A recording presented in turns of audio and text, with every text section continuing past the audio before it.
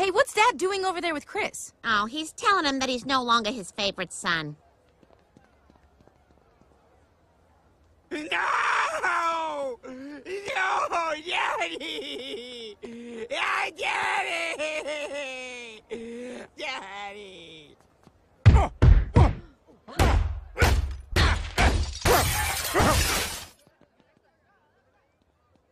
I didn't even tell him. He just does not like to be touched.